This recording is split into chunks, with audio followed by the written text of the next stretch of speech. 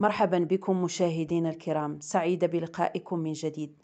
نظام أساسي جديد للمعلمين يحذف شرط تسقيف السن ويمنح الوزارة حق تحديد شروط المباريات.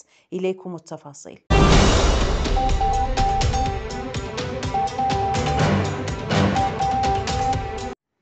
توصلت النقابات التعليمية الخمس الأكثر تمثيلية أمس الجمعة بنسخة ورقية لمسودتي مشروعي النظام الأساسي ونظام التعويضات الخاصين بموظفي وزارة التربية الوطنية.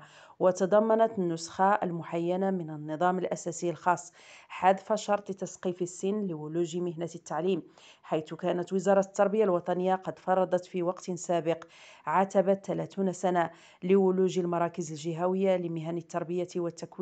للتوظيف في الدرجة الثانية. وبذلك أصبح بإمكان أي شخص يتوفر على الشروط المطلوبة ولو تجاوز سن 30 الالتحاق بإحدى الأكاديميات الجهوية لمهن التربية والتكوين والمشاركة في مباريات التوظيف. كما منحت المادة 46 للوزارة المكلفة بالقطاع حق تحديد شروط وإجراءات وبرامج المباريات والمباراة المهنية وامتحانات الكفاءة وذلك بقرار من السلطة الحكومية المكلفة بالوظيفة العمومية. وتضمنت النسخة المحينة حسب مصادر نقابية إلغاء العقوبات الواردة في النظام المجمد وتحديد المهام لكل إطار وساعات العمل وتعديلات أخرى.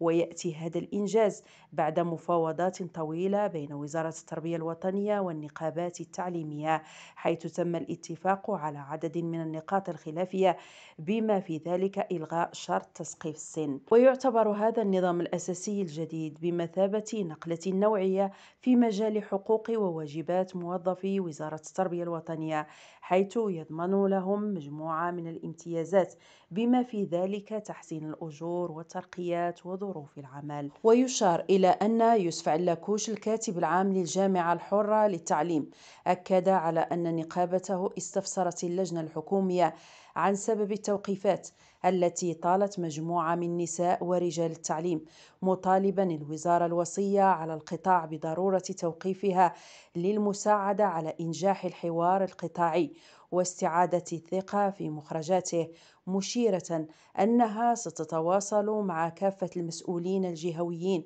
والإقليميين لمناقشة حالات التوقيف هاته.